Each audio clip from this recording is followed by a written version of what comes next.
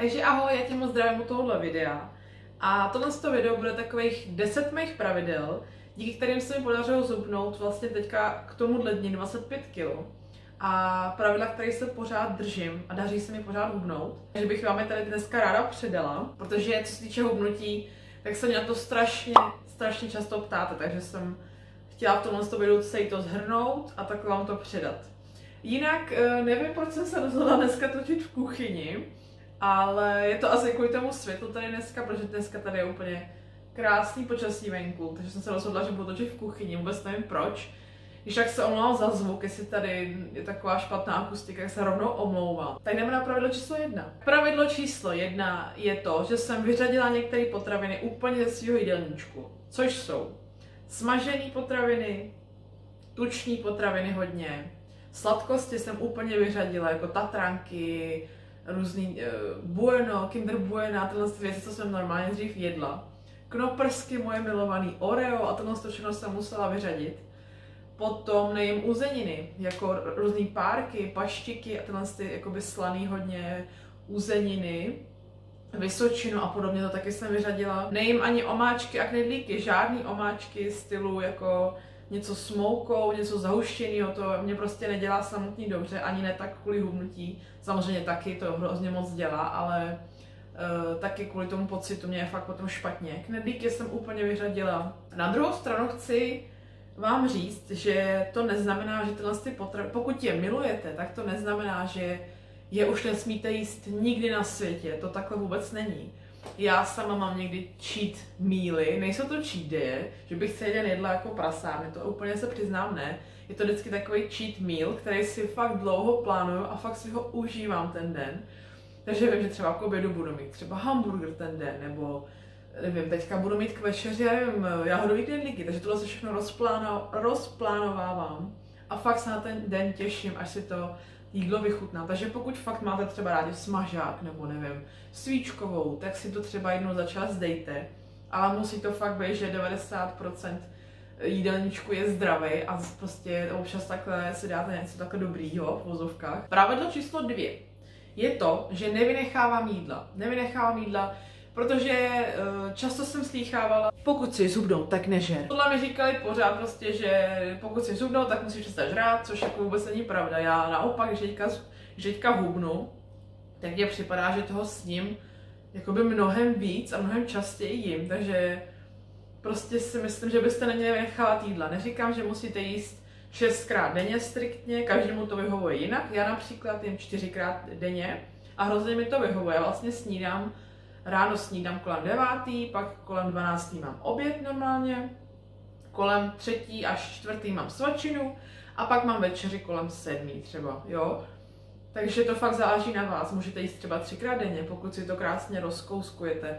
A jo, něk- někomu vyhovuje jíst jako menší porce a pětkrát denně, takže to záleží na vás. Pravidlo číslo tři je, že jsem vynechala úplně sladký nápoje typu Coca-Cola, Fanta, Sprite, juicy, různý pomerančový juicy a různý tyhle ty věci slazený, takže to jsem úplně vyřadila a nahradila jsem to právě vodou a čajem zeleným, to já piju.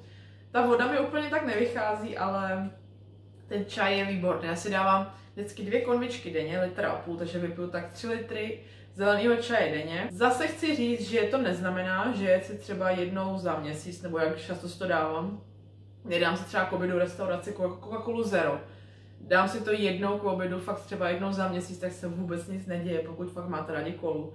Tak je tady ta varianta Cola Zero třeba, je, je spoustu různých variant, jakoby light potravin, takovýhle který normálně jsou strašně sladký. Neříkám, že to je úplně něco nejzdravějšího, to zase ne, je to plný chemikálí a různých takovýchhle věcí.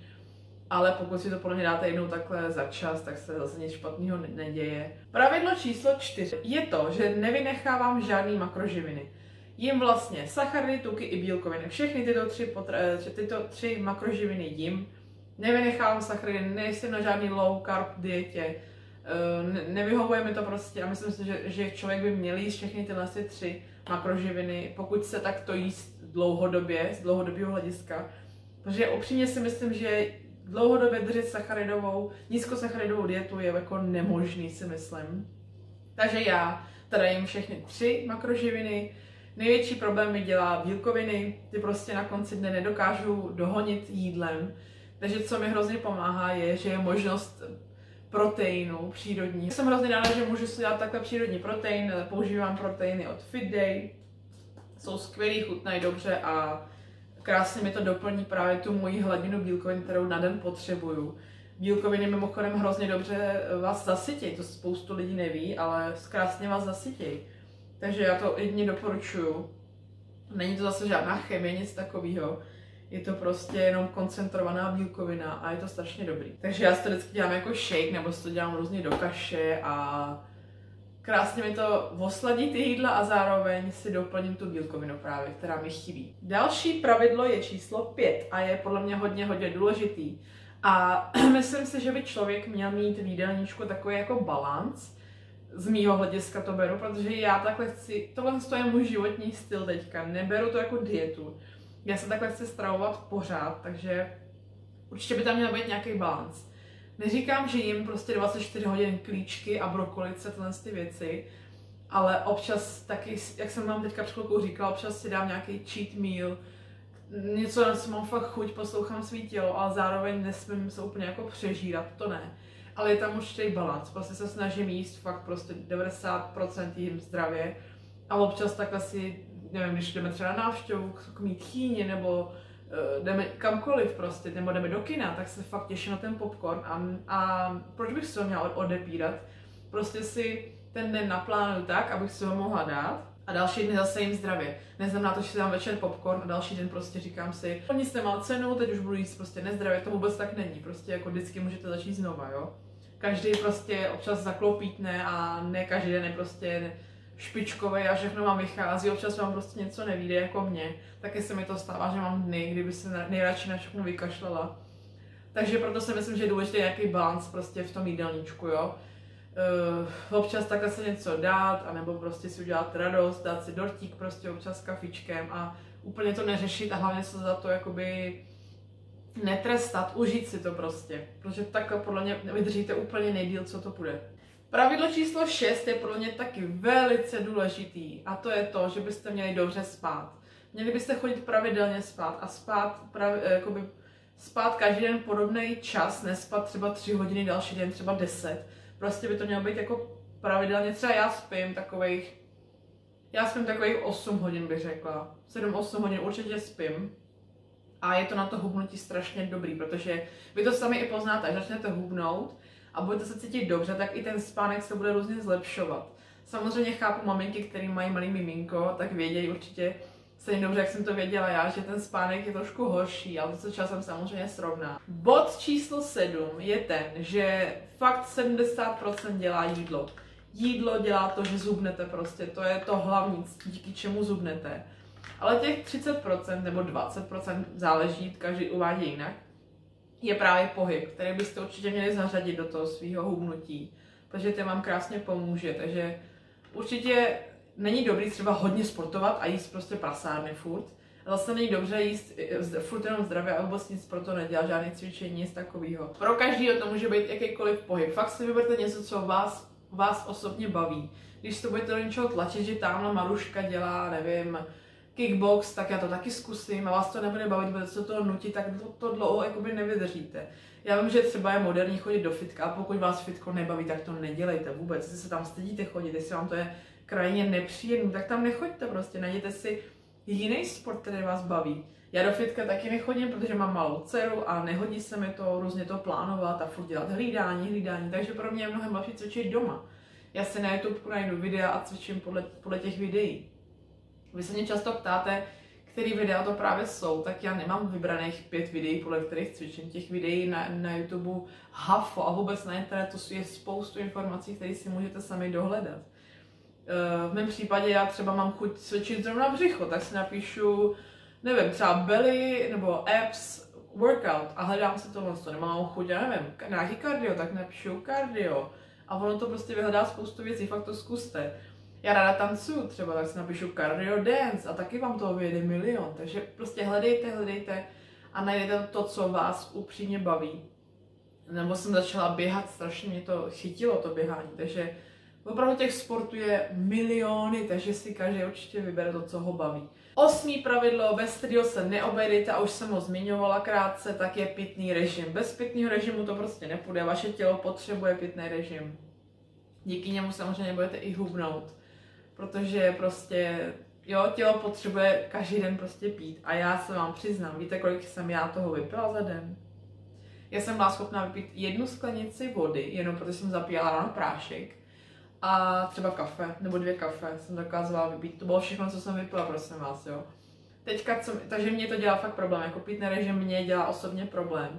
A co mě hodně pomáhá, je, že si dělám konvičky, protože před sebou vidím, kolik toho musím vypít a nutí mě to pít. Jo, takže já si dělám tyhle ty konvičky, které jsou z IKEA a mají uh, litr a půl, jestli se nepletu. A tenhle ty vypiju právě dvě přibližně za ten den a je to tak ty, ty 3 litry, to vychází. Takže tohle to mi hodně pomáhá. Dělám si do toho zelený čaj, bez cukru, bez ničeho.